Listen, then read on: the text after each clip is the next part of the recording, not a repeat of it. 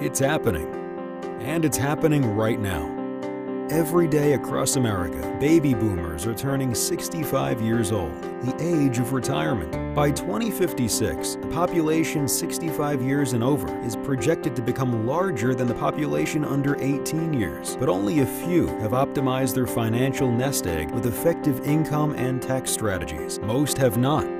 Why? Because most Americans haven't determined their retirement income needs or looked at how their assets can grow with the proper risk and tax efficiency, yet still throw off the income desired in retirement. So, what's the solution?